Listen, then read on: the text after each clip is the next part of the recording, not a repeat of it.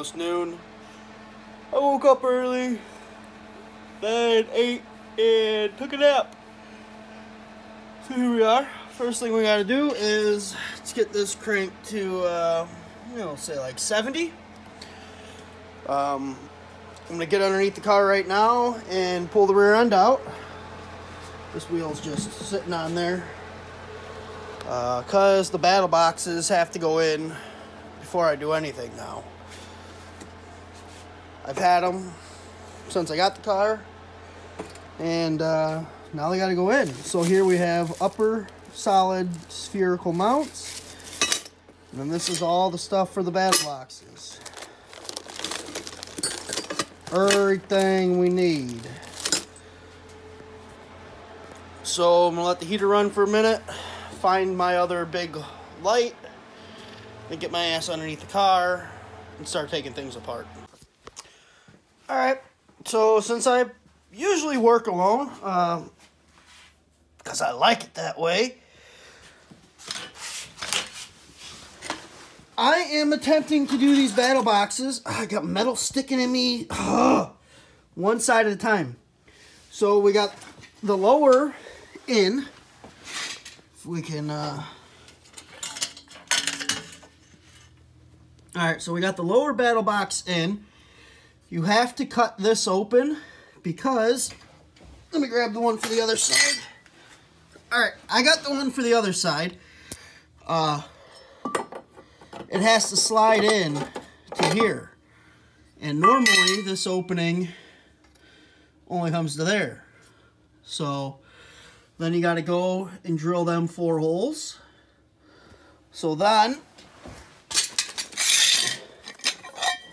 I have this top plate that'll go in. God dang piece of metal in my side. So now this.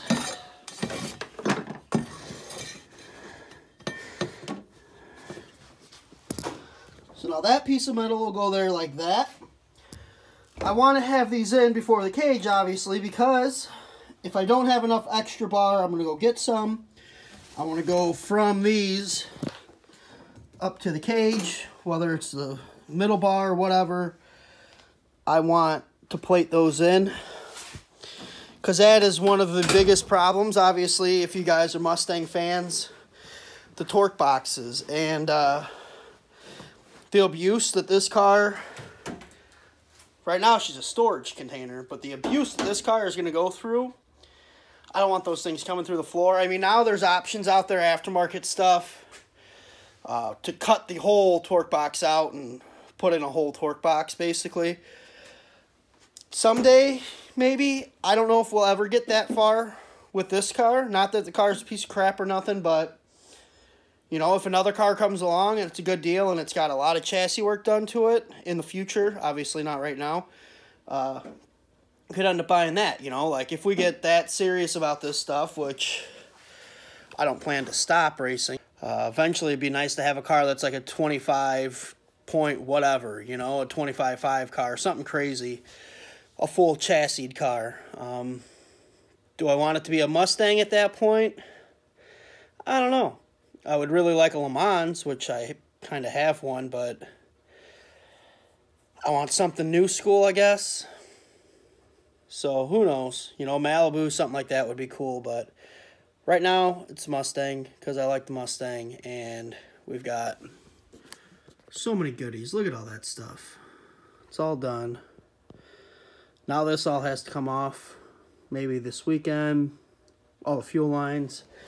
The yellow line's laid down there. I got the other end on it. I don't have the tank in it right now. I took the tank back out. I had the tank in it, took it out because I don't want it in there while I'm welding and stuff full of gas just makes sense to leave it out. So yeah. There's everything for the cage laying in the car. I'm gonna have to take back out obviously the console, that, my ribbon, anything I don't want damaged, I'm gonna have to cover up. Cause uh I mean I already been working out here forever today, it feels like, but not really, maybe an hour or so definitely going to take more than one weekend to get this cage done. To do it right. maybe not even right to do it my way, which probably ain't the right way. Uh, a lot of you guys out there on the few pages I posted on, thanks for the uh, thoughts on how to space the cage away from the corners. I didn't even think about putting a piece of, you know, like one by in there and ratchet strapping it. I knew that, but whatever. If you can see there, it's really not that bad of a deal. These holes are already there. You have to drill them out because now you use like a half inch uh, bolt. So these are already there to kind of guide you on where the upper two go. And I don't know if you can kind of see there's this one then those two holes here, you got to drill out because this plate goes in here like this. So that plate will sit like that. Uh, the bolts from the top side will snug that in there. And then having the big reinforcement on the top helps. So essentially this side is done, but then here's this awesome thing when I'm getting it all pulled apart. I'm glad I have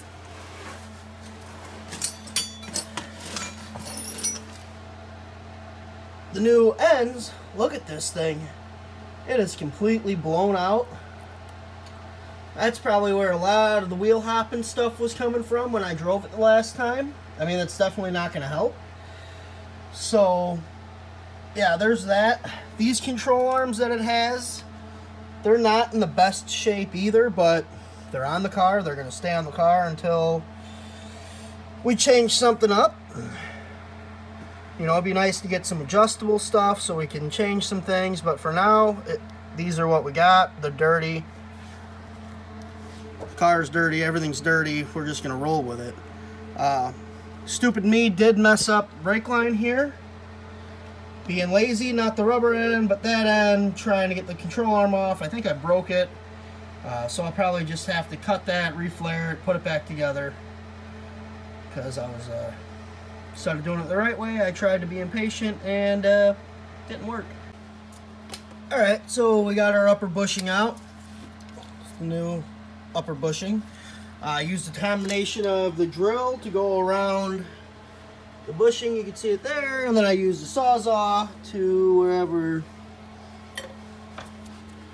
I use the Sawzall to cut that. Basically, it reliefs it, lets it release the tension, and Bob's your uncle. So now I'm going to go ahead and slather it up with some of this once I know it's going to fit.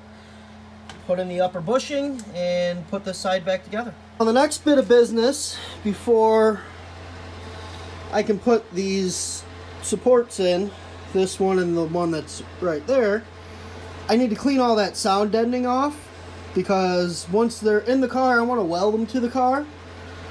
You know, yeah, bolting them in's cool, but welding them will make it a little more part of it. Plus, since eventually I'd like to have, uh, you know, the cage run to that one and to this one, might as well weld them into the car, then they're part of the car. This car is never not going to be a race car at this point. Uh, driven on the street, that doesn't mean anything. Yeah, it'll be driven on the street, but at heart, I'm not building it to be a street car. So for any of you guys that are kind of like me, and obviously if you watch my videos, I pretty much do everything by myself. Sometimes the wife will help. Uh, people are grown, you got your own damn things going on. I don't expect help from nobody, and I never asked for help from nobody. But, okay, I just got these torque boxes installed. Don't let nobody tell you you can't do it by yourself. That breaker bar on the bolt wedged. I got that thing from underneath, up in there, wherever, as tight as it could possibly go without breaking it. Uh, if I ever pull these back out to do control arms or something in the future, which I'm sure I will. I'm going to put grade 8 bolts instead of this junk it came with, but because these I'm not happy. I had to stack washers because they're almost a half an inch too long. Like These are from Wild Rides. Wild Rides Race Cars Battle Box Kit is what's in here. Uh, most of the hardware has been great besides those two. You know, the, the, the bevel on the ring is good because it's got this here, this sleeve, You know, that's fine. Maybe the old kits, this was a half an inch longer, which would have made up for the length of the bolt, but the bolt is half an inch too long.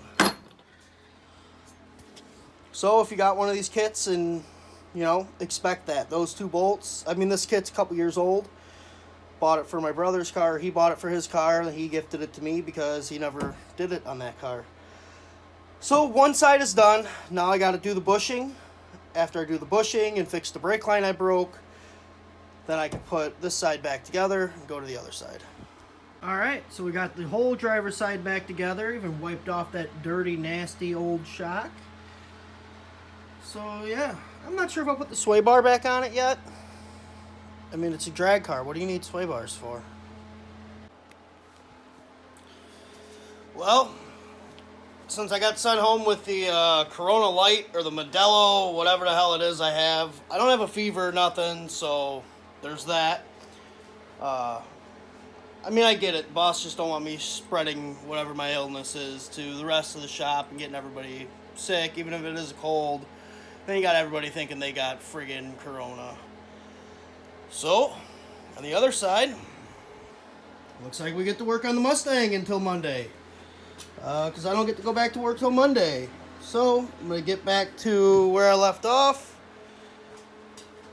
Try and finish up some videos and uh, maybe get this thing back on the ground, hopefully, and get the cage started because I got nothing better to do with my time. Alright, I'm out here. This is, uh, I think, day two and a half of uh, the corona virus. Whatever. It's Friday. I'm to work on getting uh, this side done. I'm to drop everything out. Do the battle box on this side. Uh, so I got to move all this junk. I really don't like all them washers I got over there, but that's what I got for now. So yeah, got to do the battle box over here. And then I'm going to drill the holes in the floor, drop the main hoop down. That, that, hmm, that, shit in my mouth. Uh, yeah. So after I get the battle boxes in, I'm going to drill the hole in the floor, drop the main hoop down. I was hoping the NHRA rule book would be here by now because there's a few things I'd read. They have an online one, but I wanted the damn thing in my hand. It was like 10 bucks. So as soon as that gets here, uh, because my question is, if I put my plate in here, doot doot doot, six by six. Yeah, the guy before never welded it in. He had a plate bolted top and bottom. And uh, yeah, you can see how well that was. It's all pulled up and garbage. So, I'm pretty sure I read in the wool, wool book, rule book, that I can weld vertically up these, weld around that, so that I can get that tucked as far into the corner as possible. I want to read it in the book in my hand before I go ahead with that plan. Um, yeah, because if not, then I'll end up ratchet strapping the thing in and giving myself, here's the nozzle off my gun. You know, so I'll have to give myself probably an inch and a half or something here, inch and a half here, which if I don't have to, I don't want to.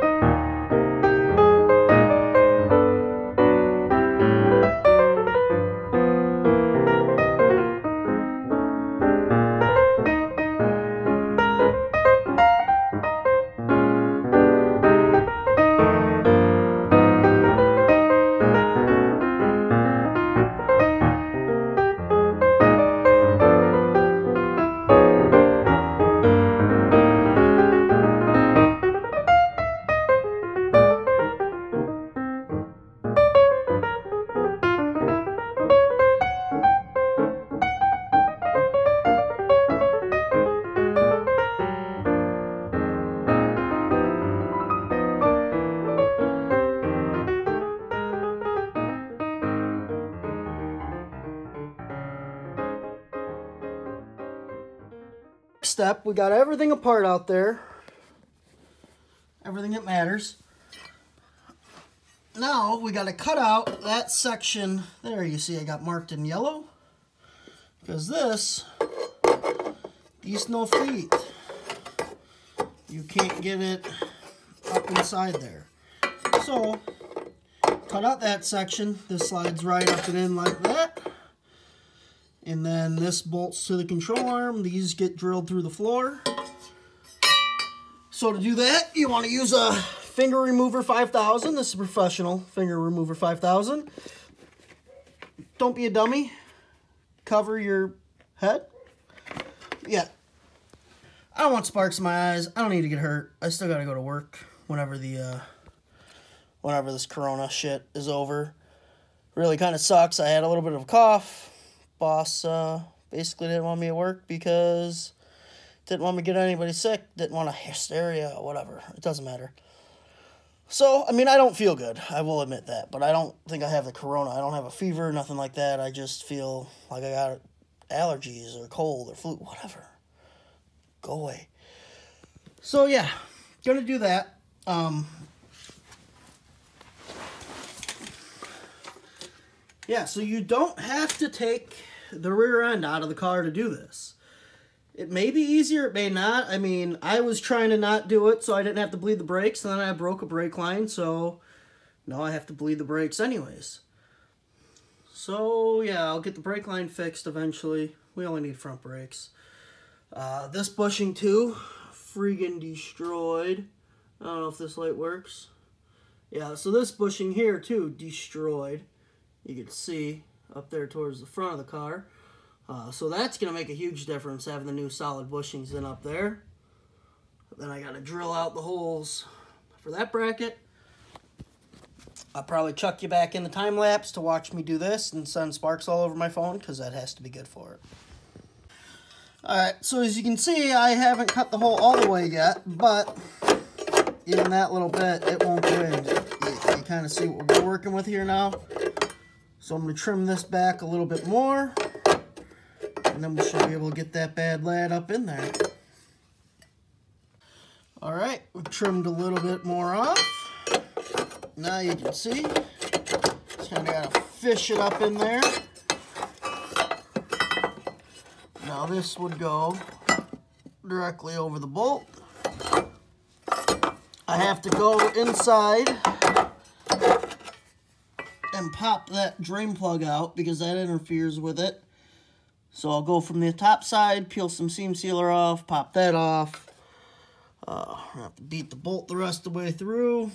Put it on, bolt it on, drill the holes, mount this one, move to the other one. Alright, so we got everything bolted in from up top. There's that one. When I go to weld them down, I'll beat that corner. You can see it standing up because I am going to weld these in completely. Uh, I am definitely, like I said, going to change the bolts to grade 8. It's the great, oh, my hair's probably awesome. It's the great shutdown. Don't mind my hair. So, uh, I don't feel like going to the store. Uh, I went shopping this morning for groceries since uh, I'm off. Now I just got to, what do I got to do? Oh, we're going to get that bushing out of there. So, I'm going to use the drill method. I'm going to set you up, and uh, I'm sure everybody's seen the video. I've never tried it until this. It is not as easy as that friggin' video makes it look. Maybe if I torched it first to get it loose. I did the other side of the drill method, and, uh, well, it sucked. So, here I go.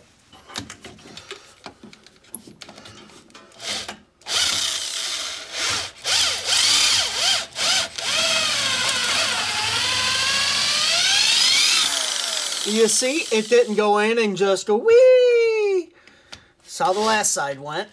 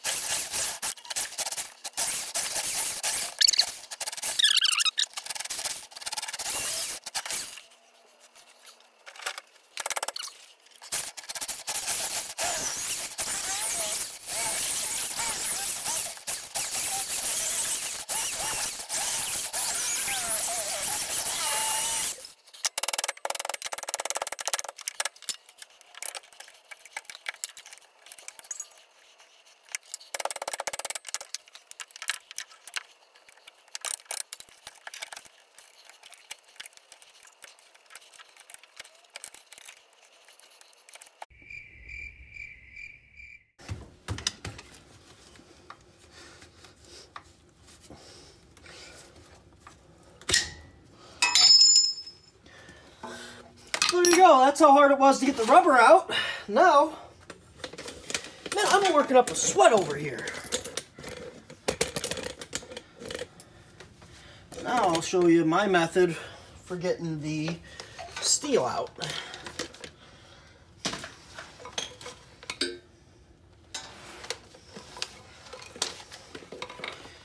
gotta go ahead and you gotta get your handy dandy Sawzall.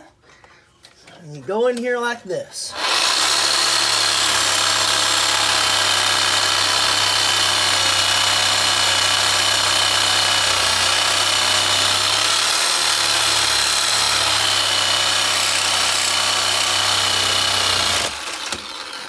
Usually spots.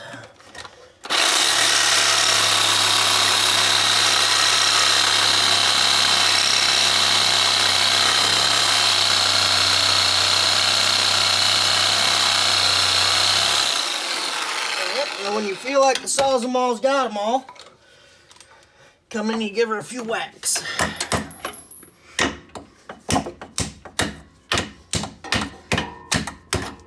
When you do that, it releases the tension on them. That is the one quick tip that came out of this, not the uh, drill bit thing. I mean, I guess it didn't take that long, but it wasn't that short either. So now I'll grab some sandpaper, clean that up inside there real quick. Alright, now we get to our, let's get our light fixed back up here. We got this fancy studio lighting. I know, only the best guys.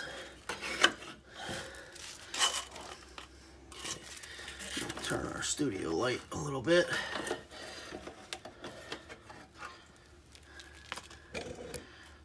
That's a little better, probably. Well, that's what you're getting. So let's go in here real quick. Little sand them up paper. Whatever you got, emery cloth, uh, old pantyhose, pretty much anything would work. You know, old sock you found under your bed. It's Been there for a little too long.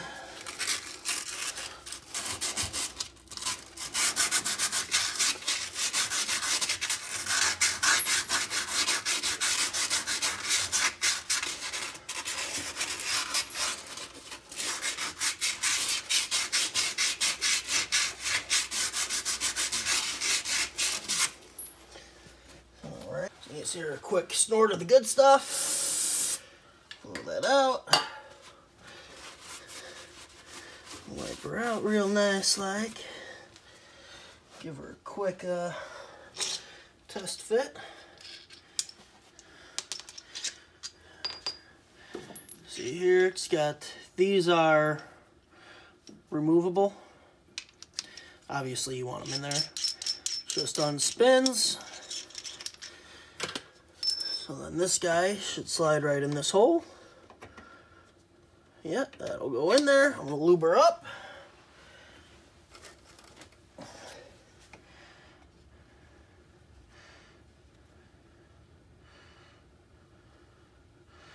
Give her a good liberal coat of that anti-seize. Get it all over everything.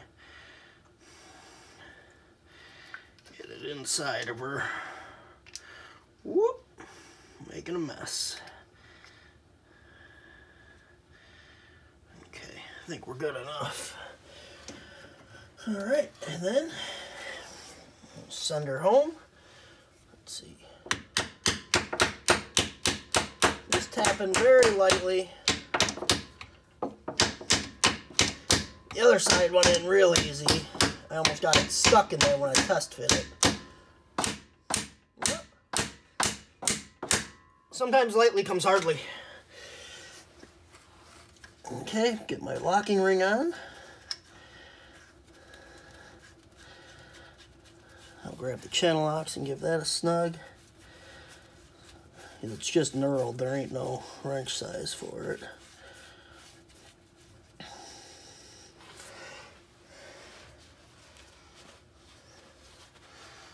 my big old chainy locks.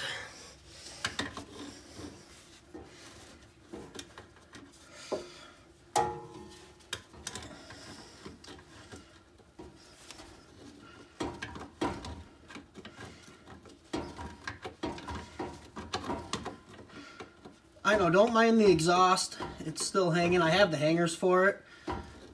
But I gotta pull it off still and weld the top side of it. So, hangers will go on when the exhaust is fully done. Alright, that's done. Basically, it's put the uh, control arm back in, put the spring back in, put the shock back on. And this part of the project is done. You know what the best part about that is? This part of the project being done? I get to go cross it off the board. Alright everyone, so I know usually I don't put like time and dates and whatever in my videos. Sometimes I do. It's uh, 3 o'clock on Friday. Mid Illinois. Governor Pritzker, whatever his name is, I believe that's it, supposed to come on and tell us if uh, we're going on lockdown for the next two weeks or however long. Could this be a very strange moment in history? Waiting for it to come on. I don't know what to think. Therefore, starting tomorrow evening, Saturday, March 21st at 5 p.m. Here we go. Until the end of April 7th, all What? our residents will be subject to a stay-at-home order. There is a great deal of misunderstanding about what a stay-at-home What the hell's that mean? order means, so I want to clarify it for everybody. Here's what will stay the same. You'll still be able to leave your house to go to the grocery store to get food. You'll still be able to visit a pharmacy, go to a medical office or hospital, or to gas up your car at a gas station. You'll still be able to go running and hiking and walk your dog. Many, many people will still go to work.